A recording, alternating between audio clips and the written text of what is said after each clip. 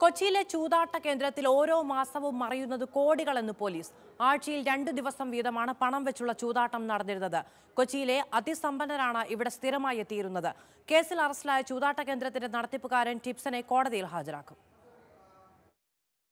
ചിലവന്നൂരിലെ ആഡംബര ഫ്ളാറ്റിലെ ചൂതാട്ട കേന്ദ്രത്തിൽ കോടികളുടെ ഇടപാടുകൾ നടന്നിട്ടുണ്ടെന്നാണ് വിവരം.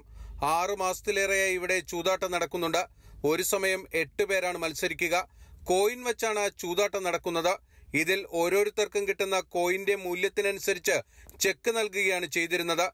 ഇവിടെ സ്ഥിരമായി ചൂതാട്ടത്തിനെത്തിയിരുന്ന ഇരുപതോളം പേരുടെ വിവരങ്ങൾ പോലീസിന് ലഭിച്ചിട്ടുണ്ട്. ഇവരെ ഉടൻ ചോദ്യം ചെയ്യും.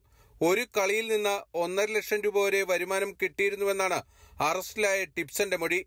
ഇയാളുടെ ഫോണിൽ നിന്ന് പോലീസ് കൂടുതൽ തെളിവുകൾ ശേഖരിക്കുന്നുണ്ട്. ബാങ്ക് അക്കൗണ്ടുകളും പരിശോധിക്കും. സൈജു തങ്കച്ചൻ നടത്തിയ ലഹരി പാർട്ടി അന്വേഷിച്ചു പോയപ്പോഴാണ് പോലീസിന് ചൂതാട്ട കേന്ദ്രം കണ്ടെത്താൻ കഴിഞ്ഞത്. ഇവിടെ ലഹരി ഇടപാടുകൾ ഉണ്ടായിട്ടുണ്ടോ എന്നതും പോലീസ് അന്വേഷിക്കുന്നുണ്ട്. ബിനിൽ മാതൃഭൂമി ന്യൂസ് കൊച്ചി.